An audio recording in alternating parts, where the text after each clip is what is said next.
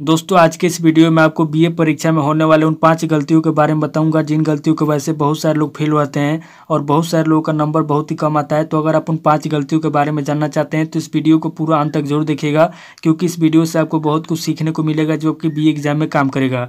तो आइए देर न करते हुए वीडियो को शुरू करते हैं और उन गलतियों के बारे में जानते हैं।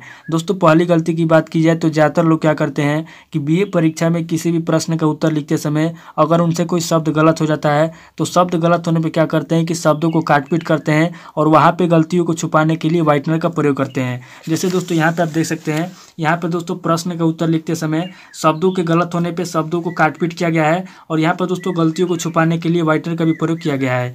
तो दोस्तों एग्ज़ाम में अगर आपसे कोई शब्द गलत हो जाता है और वहाँ पर दोस्तों शब्द के गलत होने पर अगर आप शब्द को छुपाने के लिए वाइटनर का प्रयोग करते हैं या फिर इस तरीके से अगर आप शब्दों को काटपीट करते हैं तो इससे दोस्तों होगा क्या कि जो आपकी कॉपी है, पूरी कॉपी के अंदर आपकी जो गलतियाँ हैं, हाईलाइट हो जाएगी। यानी कि साफ़ साफ़ दिखने लगेगी कि यहाँ पर ये गलती किया गया है और उस कंडीशन में दोस्तों जो आपका कापी चेक करने वाला एग्जामिनर होता है, वहाँ पर दोस्तों एग्जामिनर को भी साफ़ साफ़ दिख जाएगा कि यहाँ पे ये गलती किया गया है। और उस कंडीशन में दोस्तों आपका जो नंबर है एग्जामिनर द्वारा काट लिया जाएगा। तो दोस्तों इस बात को याद रखिएगा कि अगर आपसे एग्ज़ाम में कोई शब्द गलत हो जाता है तो वहाँ पर न तो आपको इस तरीके से काटपीट करना है और न ही आपको वाइटनर का प्रयोग करना है। आपको क्या करना दोस्तों कि अगर आपसे शब्द गलत हो जाता है तो या तो आप शब्दों को बीच से मार करके छोड़ दीजिए, यानी कि जैसे मान लीजिए कि आपसे ये शब्द गलत हो गया है और अगर आपको इस गलती को सुधारना है या फिर इस गलती को दिखाना है तो या तो आप इसको एक बार बीच से मार करके छोड़ दीजिए या फिर इसको बिल्कुल भी मत छूइए इसको उसी तरीके से छोड़ दीजिए, क्योंकि एग्जामिनर के पास इतना समय नहीं होता है कि आपकी उत्तर के एक एक शब्द को मिला मिला के चेक करेगा और एक एक शब्द को मिला करके जांचेगा।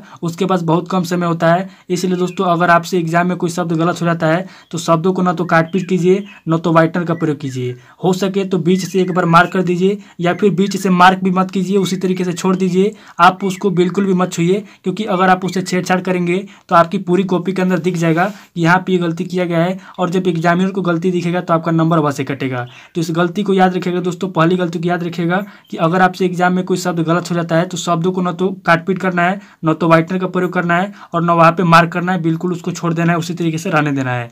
अब दोस्तों, दूसरी गलती की बात की जाए तो दोस्तों, एग्ज़ाम में ज़्यादातर लोग क्या करते हैं कि जब किसी प्रश्न का उत्तर लिखते हैं तो वहाँ पर दोस्तों क्या करते हैं कि प्रश्न का उत्तर लिखते समय या प्रश्न का हेडिंग लिखते समय लाइन नहीं छोड़ते हैं। जैसे दोस्तों, यहाँ पर दूसरी गलती की बात की जाए तो यहाँ पर दोस्तों आप देख सकते हैं यहाँ पर दोस्तों जो प्रश्न का उत्तर लिखा गया है यहाँ पर दोस्तों प्रश्न का उत्तर लिखते समय यहाँ पर दोस्तों अगर आप देखेंगे यहाँ पर दोस्तों जो भी हेडिंग लिखा गया है या फिर जो भी प्रश्न का उत्तर लिखा गया है यहाँ पर दोस्तों अगर आप ध्यान से देखेंगे तो यहाँ पर दोस्तों पहला हेडिंग यहाँ पर लिखा गया है और यहाँ पर दोस्तों जब दूसरा हेडिंग लिखा गया है तो यहाँ पर दोस्तों दूसरा हेडिंग लिखते समय यहाँ पर दोस्तों पहले हेडिंग और दूसरे हेडिंग के बीच में एक भी लाइन नहीं छोड़ा गया है यानी कि यहाँ पर जो पहला हेडिंग लिखा गया है पहले हेडिंग और दूसरे हेडिंग के बीच में एक भी लाइन नहीं छोड़ा गया है उसी तरीके से दोस्तों अगर आप नीचे देखेंगे तो यहाँ पर भी दोस्तों दूसरे हेडिंग और तीसरे हेडिंग के बीच में एक भी लाइन नहीं छोड़ा गया है। तो ये दोस्तों दूसरी गलती होती है जो एग्ज़ाम में बहुत सारे लोग करते हैं और इस गलती की वजह से भी बहुत सारे लोगों का नंबर कट जाता है। तो एग्ज़ाम में दोस्तों आपको दूसरी गलती भी नहीं करना है। अगर आप किसी भी प्रश्न का उत्तर लिख रहे हैं या फिर उस प्रश्न का हेडिंग लिख रहे हैं तो इस बात को याद रखिएगा कि अगर आप कोई भी हेडिंग लिख रहे हैं तो पहले हेडिंग और दूसरे हेडिंग लिखने के बाद बीच में आपको एक लाइन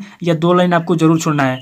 अधिक से अधिक आपको दो लाइन छोड़ना है और कम से कम आपको एक लाइन ज़रूर छोड़ना है। जैसे दोस्तों मैं आपको बता रहा हूँ कि आपको किस तरीके से हेडिंग लिखना है, ध्यान से देखिए। यहाँ पर दोस्तों आप देख सकते हैं कि यहाँ पर दोस्तों प्रश्न का उत्तर लिखा गया है और यहाँ पर दोस्तों पहला हेडिंग लिखा गया है और पहला हेडिंग लिखने के बाद दोस्तों अगर आप यहाँ पर देखेंगे तो यहाँ पर दोस्तों पहला हेडिंग लिखने के बाद यहाँ पर दोस्तों पहला हेडिंग खत्म हुआ है और यहाँ पर दोस्तों दूसरा हेडिंग शुरू हुआ है। तो पहले हेडिंग और दूसरे हेडिंग के बीच में दोस्तों यहाँ पर अगर आप देखेंगे तो यहाँ पर दोस्तों एक लाइन छोड़ा गया है। तो इस तरीके से दोस्तों आपको क्या करना है कि एग्ज़ाम में जब आप किसी प्रश्न का हेडिंग लिख रहे हैं तो हेडिंग लिखते समय आपको क्या करना है कि पहले हेडिंग और दूसरे हेडिंग के बीच में आपको एक लाइन या दो लाइन ज़रूर छोड़ना है। कम से कम आपको एक लाइन छोड़ना है और अधिक से अधिक आपको दो लाइन छोड़ना है, क्योंकि अगर आप एक लाइन छोड़ते हैं या दो लाइन छोड़ते हैं तो इससे क्या होता है दोस्तों कि आपकी जो राइटिंग होती है, वो अच्छी होती है और दोस्तों देखने में भी अच्छा लगता है और कापी चेक करने वाले एग्जामिनर को भी दोस्तों कापी चेक करने में कोई दिक्कत नहीं होता है। तो इसलिए दोस्तों दूसरी गलती को याद रखिएगा कि अगर आप किसी प्रश्न का उत्तर लिख रहे हैं या प्रश्न का हेडिंग लिख रहे हैं तो यहाँ पर दोस्तों एक उत्तर या दूसरे उत्तर के बीच में एक या दो लाइन छोड़ना है,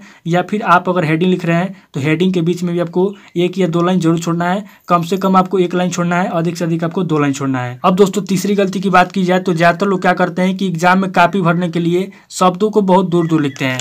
जैसे दोस्तों, यहाँ पे आप देख सकते हैं, तीसरी गलती को देख सकते हैं। यहाँ पे दोस्तों, जो भी शब्द लिखा गया है, कापी भरने के लिए दोस्तों, शब्दों को बहुत दूर दूर लिखा गया है। यहाँ पे दोस्तों, अगर आप शब्दों के बीच की दूरी देखेंगे तो यहाँ पे दोस्तों, शब्दों के बीच की दूरी बहुत ज़्यादा है। यहाँ पे दोस्तों, कापी भरने के लिए शब्दों को बहुत दूर दूर लिखा गया है।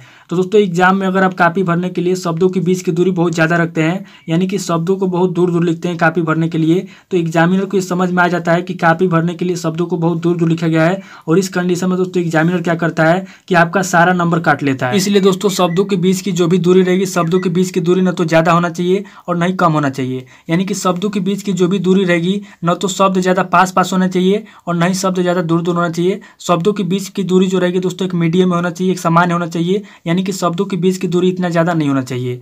अब दोस्तों, हम लोग चौथी गलती की बात करें, जो ज़्यादातर लोग करते हैं तो दोस्तों, चौथी गलती की बात करें तो ज़्यादातर लोग क्या करते हैं दोस्तों, एग्ज़ाम में, कि किसी भी प्रश्न का हेडिंग लिखते समय या फिर प्रश्न संख्या लिखते समय या उत्तर संख्या लिखते समय क्या करते हैं, कि प्रश्न संख्या, उत्तर संख्या लिखते समय तीर का निशान बनाते हैं और यहाँ पर दोस्तों, हेडिंग लिखते समय क्या करते हैं, हेडिंग लिखते समय दोस्तों, स्टार बनाते हैं। जैसे यहाँ पे दोस्तों, आप देख सकते हैं कि यहाँ पर दोस्तों, प्रश्न संख्या लिखा गया है और प्रश्न संख्या लिखते समय क्या किया गया है, यहाँ पर दोस्तों, तीर का निशान बनाया गया है। उसके बाद दोस्तों यहाँ पे अगर आप देखेंगे तो यहाँ पे दोस्तों उत्तर लिखा गया है और उत्तर लिख के दोस्तों यहाँ पे तीर का निशान बनाया गया है और यहाँ पे दोस्तों अगर आप देखेंगे तो यहाँ पे दोस्तों हेडिंग लिखा गया है और हेडिंग लिखने के बाद क्या किया गया है? यहाँ पे दोस्तों अंडरलाइन दिया गया है और अंडरलाइन देने के बाद दोस्तों यहाँ पे स्टार बनाया गया है। इस तरीके से स्टार बनाया गया है।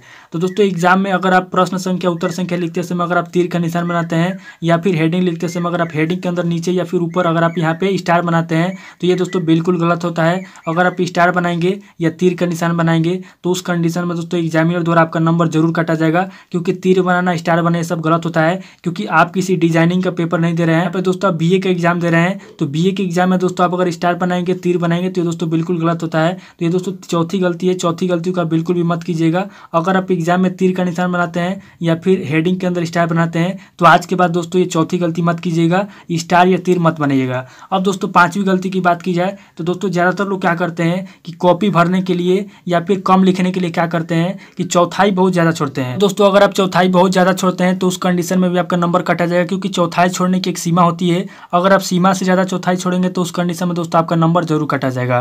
तो दोस्तों, चौथाई कितना छोड़ना चाहिए, ध्यान समझ लीजिए। दोस्तों, आपके पास जो स्केल होता है एग्ज़ाम में जो आप स्केल लेके जाते हैं, ध्यान से देख लीजिए। ये दोस्तों, आपके आपके पास जो स्केल होता है, आपको क्या करना है कि स्केल लेना है, और स्केल की चौड़ाई का डेढ़ चौड़ाई नाप करके, ध्यान से देख लीजिए, मैं आपको समझा दे रहा हूँ। यहाँ पर ध्यान समझ लीजिए। यहाँ पर दोस्तों, आपके पास जो स्केल होता है स्केल की चौड़ाई का डेढ़ चौड़ाई नाप करके आपको चौथाई छोड़ना है। जैसे आपकी जो स्केल है स्केल की चौड़ाई का डेढ़ चौड़ाई। तो स्केल की चौड़ाई कितना हो गया?